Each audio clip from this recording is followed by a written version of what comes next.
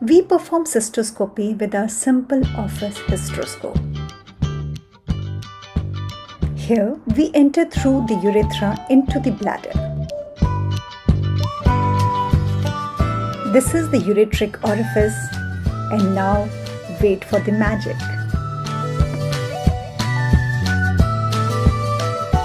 Can you appreciate the peristalsis of the ureter? And see this spurt of urine.